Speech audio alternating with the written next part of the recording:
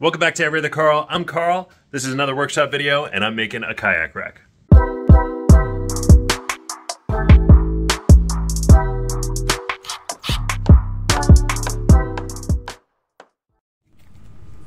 thought I'd give you a little sneak peek just so that you can see if this is what you're looking for. If it's not, you can click off and go to a different tutorial.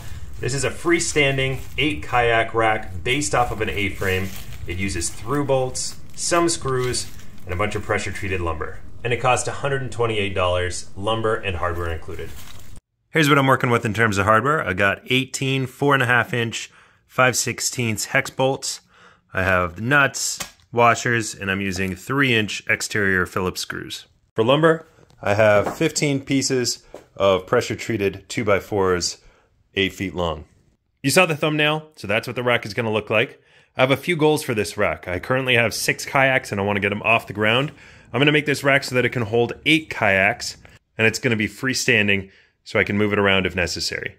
So I started by measuring one of my kayaks. I know I need at least 18 inches of clearance to have enough space to slide each kayak into its slot. I also need the, the width of the rack to be six feet so that I can get an arm on this side of the kayak and one on the front. The other limitation is I want to make sure that this rack is just small enough so that I can actually fit it out of my garage after it's done. I've taken my first 2x4 here and found the middle. I know this is going to be an A-frame since my kayaks are 30 inches wide, meaning I need 30 inch arms to hold each one. So with that in mind, I've decided I can cut off approximately 3 inches from each end. I'm talking too much. I'll just make the cut and it'll make sense in a minute.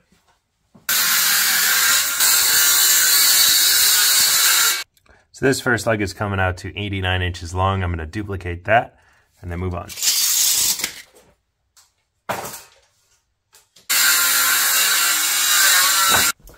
All right, now that I have my two base pieces, I'm going to create the first A-frame. It's going to be two 83 inch 2x4s that come to a point at the top. They're going to overlap and I'm going to put a bolt right through them. And then to put a bolt right through the bottom of them as well.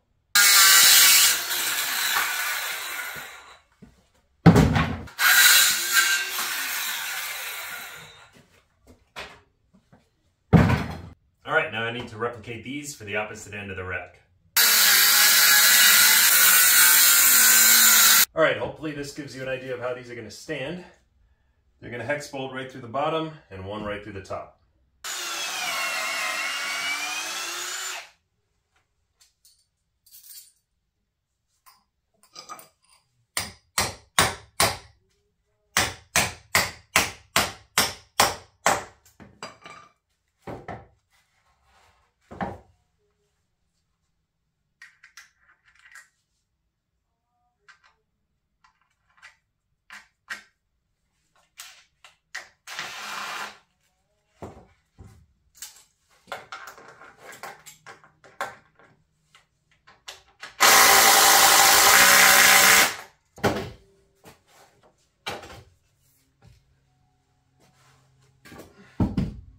All right, the first A-frame is all bolted in. It's very simple, using the power of triangles. Got it bolted together at the top. Down at the bottom, I had to countersink this bolt. I would have preferred to get a five inch bolt, but I forgot to pick those up, so only a four inch. But in any case, countersunk it. I have one spacer here to offset the fact that these two beams are bolted one on top of the other. So had to put that spacer in there. That's gonna come in handy in a little bit. I'll show you why. Because as the arms get attached, one's gonna bolt here and it's gonna be braced on the other side as it hits this, this leg of the A-frame. Here I'm putting the second A-frame together for the other end of the rack. It's an exact replica of the first. All right, here's my two end pieces. Now I'm gonna cut three cross members, two that are gonna go on the bottom and one on the top. I'm gonna make those six feet long and screw them in.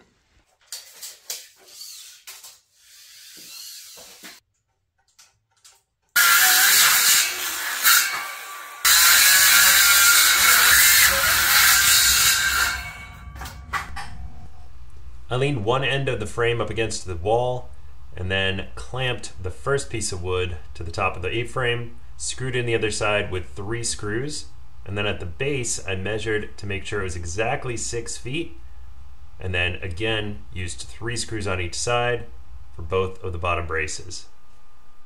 This is where I'm at so far. Got the frame freestanding. I'm gonna put some uh, angle braces here just to get rid of this lateral movement back and forth and then just slap the arms on there. First thing I did was make sure each side of the frame was level. Then I cut approximately two foot angle braces. One side has a slight angle cut into it so that it sits flush up against the A-frame. The other side overlaps the top beam with three screws. All right, I took out a lot of the lateral movement with these cross beams and uh, I'm gonna cut up the arms now, put those on, and then I'll put a couple more angles down at the bottom to finish it up. If you notice, I decided on a pretty slight angle for each one of my arms. I wanted my kayaks to slide in towards the A-frame, if anything. On the load-bearing side of the arm, I through bolted the arm through the A-frame, and the opposite side had that very slight angle cut into it. It sat flush up against the opposite side of the A-frame, and I screwed it in with two screws. All right, I'm pretty happy with this so far, but I am tired, and I'm gonna leave the rest of this for tomorrow morning. I just need to do the top arms, do a little more cross bracing, and then it'll be done. All right, so the next day, I'm gonna finish this up. I followed the exact same process for the top two arms on each side of the rack, through bolting into the A-frame and then screwing the end into the opposite side of the A-frame. These are nice and strong and perfectly enough to hold my kayaks. The bottom two arms are much stronger. They could hold my weight all the way out to the end of the arm, and I weigh 200 pounds. All right, it is done. Completely finished here. Got all my arms on. This is gonna hold eight kayaks. One, two, three, four, and four on the other side. Last couple things I did was put this cross bracing on, on the bottom. And I put a couple little blocks up here. That gives these upper arms a little bit more lateral stability. I didn't realize I would need that, but anyway, it helps. All right, I'm gonna move this outside and put the kayaks on. I also added these little pieces to the bottom to give that bottom rung a bit of an angle too. Okay, this is a moment of truth. Let's see if I actually measured this properly. Otherwise, it's not going to fit out of the garage.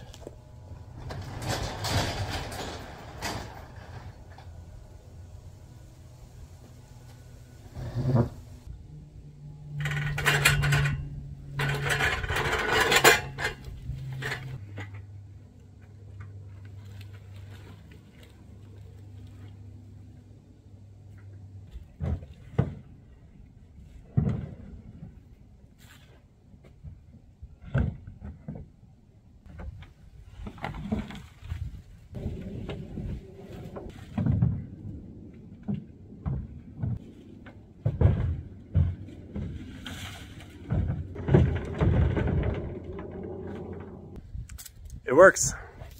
Here it is, finished product. Got room for two more down on the bottom there. I'm happy with this build. It's very sturdy. It's all pressure treated. It's gonna last for a long time. All right, that's gonna do it for this build. Please like, comment, and subscribe. I'm Every Other Karl, and I'll see you in the next one.